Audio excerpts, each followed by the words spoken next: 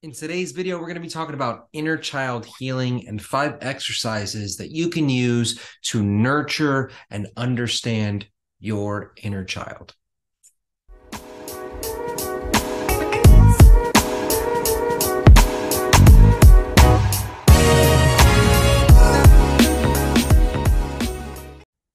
In today's video, we're going to be discussing five steps to begin to heal your inner child Inner child healing is a therapeutic process that's aimed at healing the emotional wounds and traumas from childhood. The inner child refers to the childlike aspect of you yourself as a person that is present in your adult self. And this inner child can be wounded by negative experiences in your childhood, which can lead to emotional and psychological issues now in adulthood. And so, inner child healing, what it does is it seeks to identify and heal these wounds by accessing and nurturing the inner child. So, in this video today, what we're going to be doing is inner child healing. We're going to be talking about five exercises that you can do to nurture and understand your inner child. Now, the process of inner child healing typically involves identifying and understanding the inner child, nurturing and caring for the inner child, and addressing any unresolved issues from childhood. Now, this can be done through various therapeutic techniques such as talk therapy, uh, visualization, meditation, creative expression. The goal really is to heal the emotional and psychological wounds of the inner child.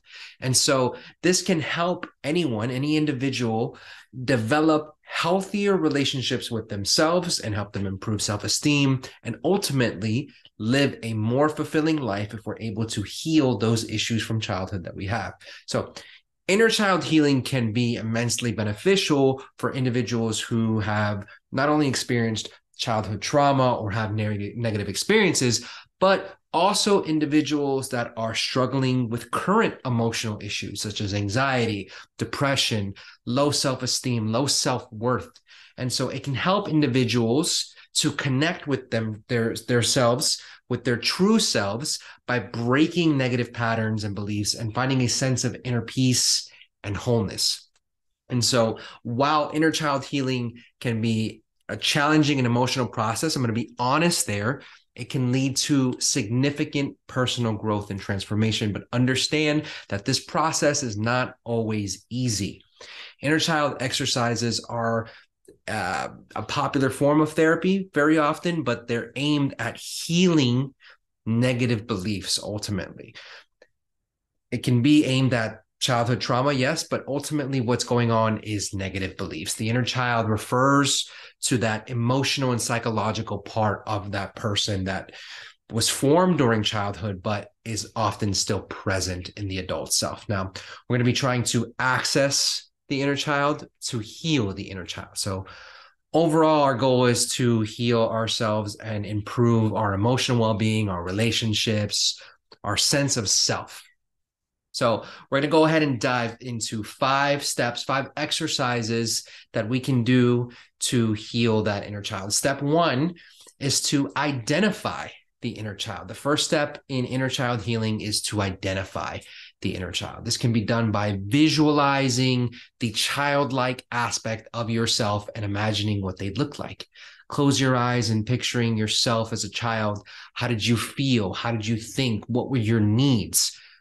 A really good exercise that you can try here is writing a letter to your inner child and speaking to them as if they were a separate entity. That'll really help kind of identifying the inner child. Step two, understanding your inner child. Once you've identified your inner child, the next step is to understand their needs, their desires, their emotions. This can be done through journaling, visualization, talking to a therapist. And I know that can be a scary jump, but talking to somebody that can help you in talk therapy can be a really good step in understanding your inner child. By better understanding your inner child, you can start to heal the traumas and wounds that you have, the negative beliefs that are still affecting you as an adult. Step three, and a very, very important step, is nurturing your inner child. That inner child wound is often coming because of neglect. The inner child is often neglected and ignored. So, nurturing them is an important part of the healing process.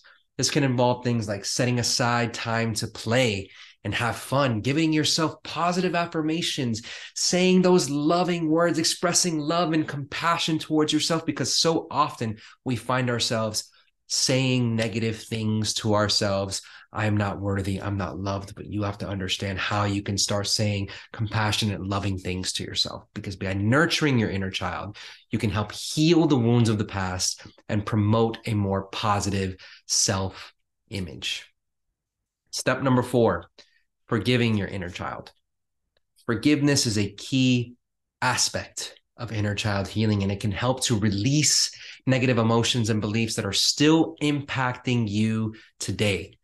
This can involve forgiving yourself for past mistakes as well as forgiving others for any hurt they may have caused you.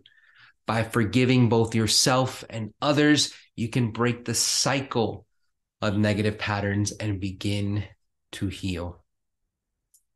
And last but not least, step number five is integrating your inner child. The final step in inner child healing is to integrate the inner child with the adult self. And so, by integrating the inner child with the adult self, this can involve accepting and embracing that childlike aspect of yourself, really just incorporating the lessons that you're learning through your inner child healing process into your daily life having more of that childlike aspect in little parts of your day, loving yourself, doing little fun activities and enjoying little moments here or there, saying positive affirmations to yourself, reminding yourself that it's okay to have that inner child, forgive yourself for any mistakes or anything that may have cropped up. And by doing so, you can improve your emotional well being and live a more fulfilling life. In conclusion, Inner child exercises are a powerful tool for healing childhood trauma and limiting those negative beliefs. And by identifying, understanding, nurturing, forgiving, and integrating that inner child, you as an individual can improve your emotional well being and lead a more fulfilling life. It's important to understand that healing takes time, it takes patience, and it's okay to work with a therapist or somebody who can guide you through the process.